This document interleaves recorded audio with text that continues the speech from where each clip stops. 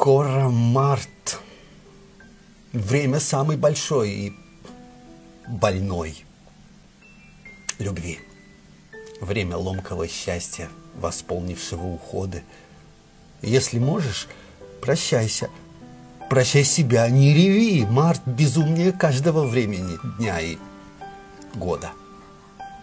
Он сорвет тебе голос, чтоб шепот звучал слышней. Он напишет такие письма, которых разрывы будут дольше соднить, заставляя оцепенеть от того, что участники просто остались живы. Скоро март.